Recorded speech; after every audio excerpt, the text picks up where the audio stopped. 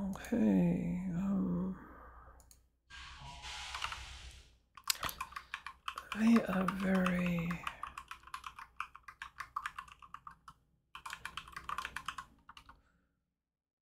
In my opinion, NATO is currently planning to invade Kaliningrad. Uh,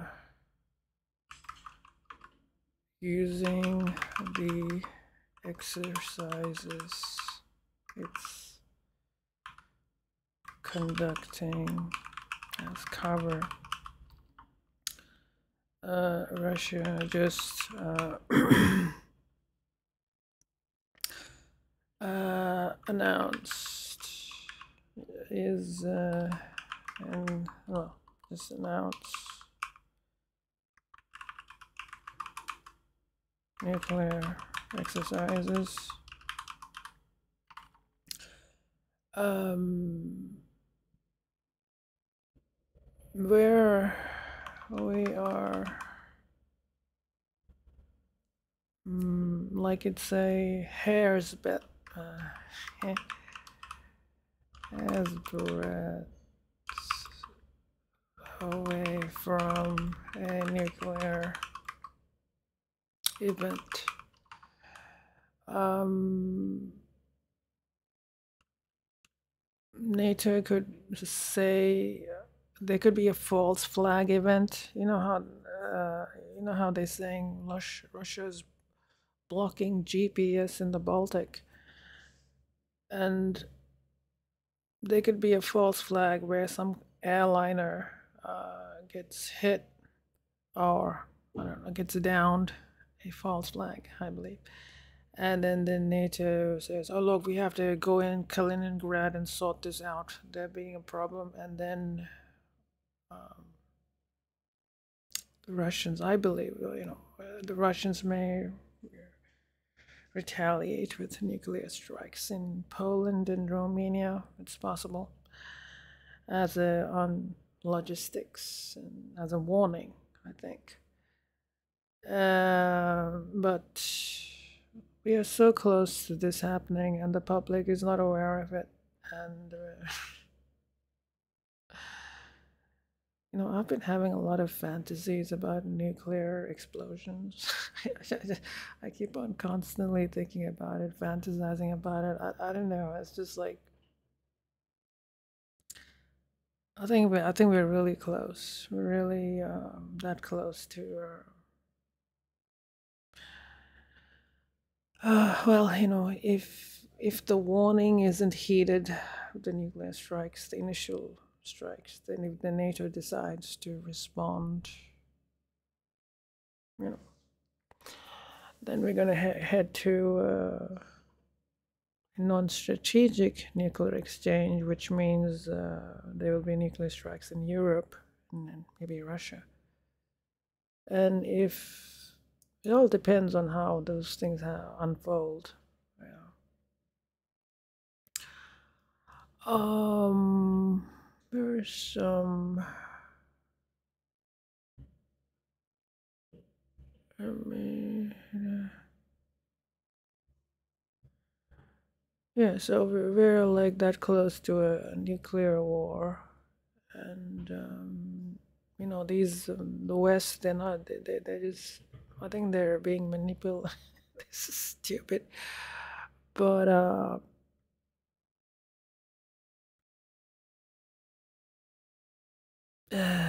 anyway, uh, why I have to find all these things things. Oh, there's Oh, here is a good good summary of how that uh, will go.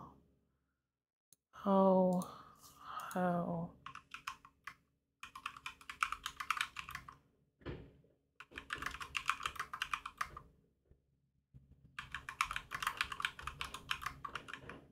you know, if, if uh,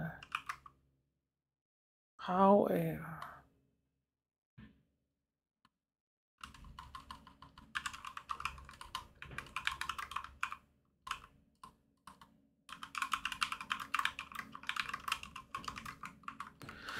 oh, there's something else.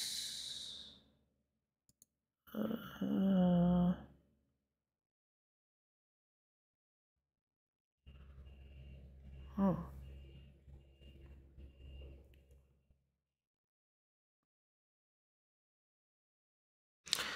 Uh, oh man. Anyway, so yeah, we're really close to uh, nuclear Armageddon, and here's uh, the we're dealing. I don't agree with the image. I don't think anyway. Here is sort of illustrates the, what's at stake, like uh, the, the the whole the future of the world. Uh, um, oh, mm, not illustrate. Uh, good summary of what's at stake. The West wants to con- the West wants to control the planet.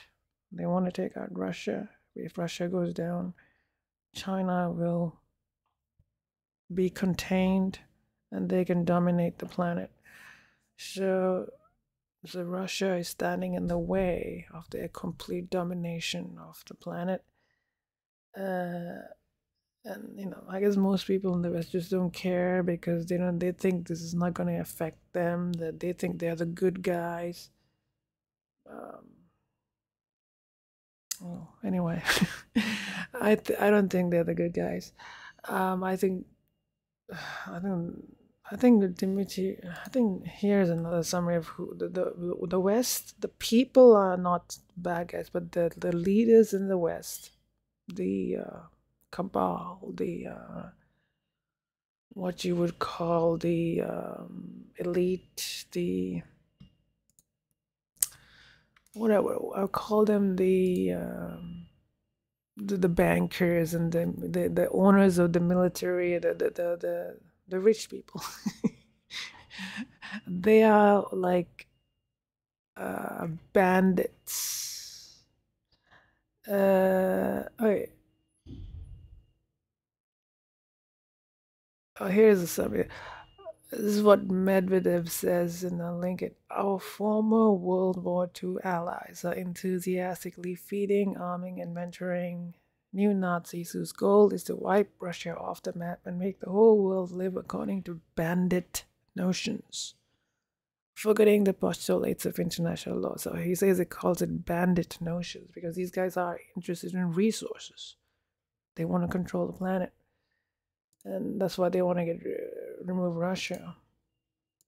So the stakes are very high. Uh, bandit. Bandit. uh, elites.